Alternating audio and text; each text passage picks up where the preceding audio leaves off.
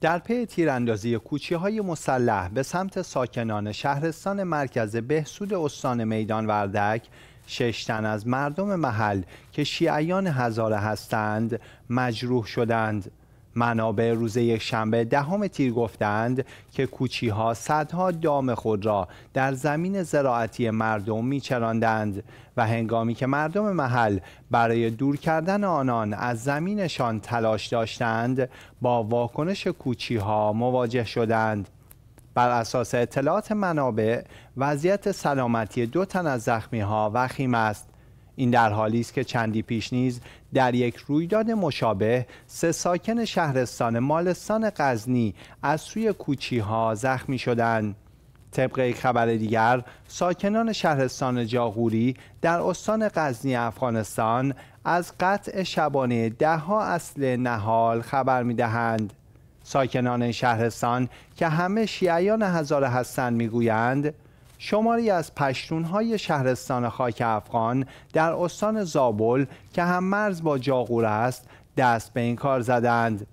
برخی منابع گفتند چند روز پیش گروهی از پشتونهای منطقه جنگلی گله گوسفندان خود را به زمینها و مزارع مردم محل رها کرده بودند و پس از توقیف گوسفندان آنها توسط مردم محل مالکان گوسفندان به مردم اختار داده بودند. ساکنان جاغور گفتند در مورد قطع درختان مسمرشان به اداره های طالبان هم شکایت کردند اما تا کنون به شکایتشان رسیدگی نشده است. سال گذشته در منطقه هزاره نشین شهرستان خاص ارزگان استان ارزگان هم دهها اصل درخت را قطع کرده بودند. عاملان این کار نیز ساکنان مناطق پشتون نشین خوانده می شدند در منطقه هزاره نشین جوی نو شهرستان خاص ارزگان قطعهای زنجیری علیه هزاره ها نیز رخ داده است ساکنان محل بر این باور هستند که این اقدامات تلاش برای وادار کردن آنان به کوچه اجباری می باشد.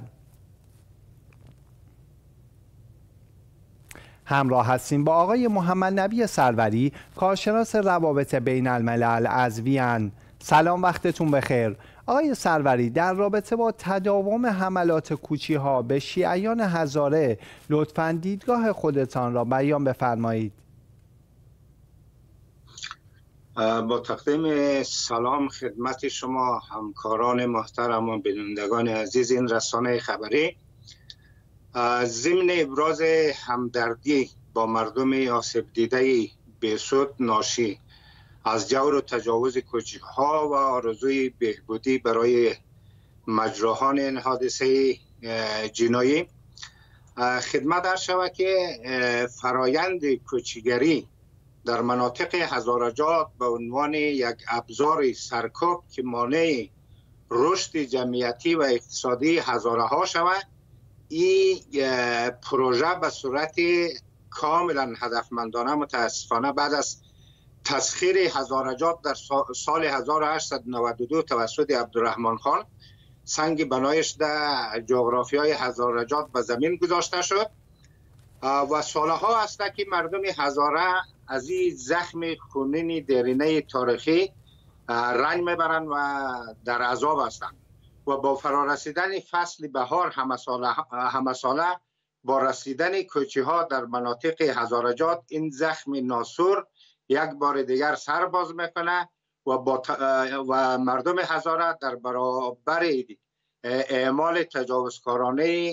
تجاوزکارانه و ظالمانه کوچی ها قرار می‌گیره و دارایی های مردم مورد چپاول کوچی ها قرار می‌گیره و انسان های زیادی از هزاره ها در راستای دفاع از حق و حقوق